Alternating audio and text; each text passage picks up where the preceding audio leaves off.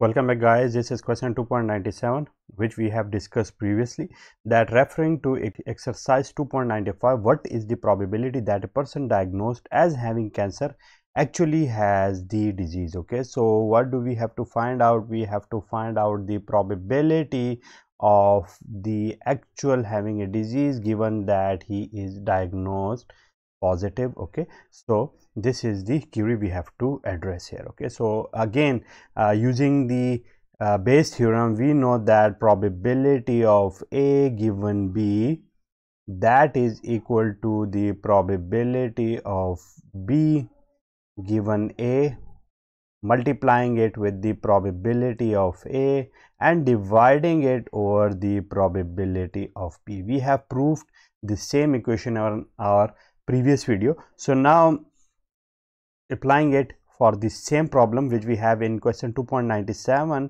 we have to find out the probability of the actual disease or having the actual disease given that a person has been diagnosed as positive would be what? That would be probability of the diagnosing positive given that a person has a disease multiplying it with the probability of the disease dividing it over the probability of the diagnosis okay? So this is what this is the overall scenario we have okay? So now looking back to the previous question do we have all this stuff okay? So we can very clearly see that here we have probability of c that is 0.05 probability of d plus given that C is positive that is 0.78 and also we have found out here probability of D plus that is 0.096 okay? So now let me put it here.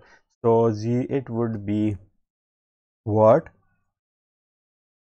So probability of D plus given C plus how much is this?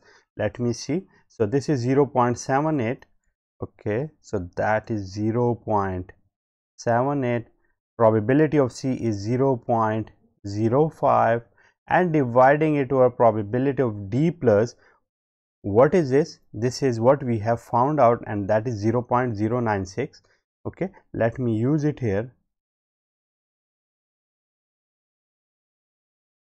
0.096 okay so now let me calculate it. Okay how much is this?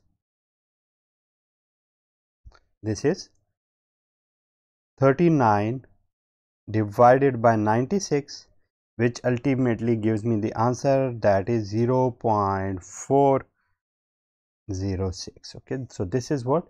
This is the answer of question 2.97 okay? So i hope you have understood the essence of such type of questions that how to deploy them how to use the Bayes theorem and what are the procedure behind it. So if you have any question you can ask me in the comment box. See you soon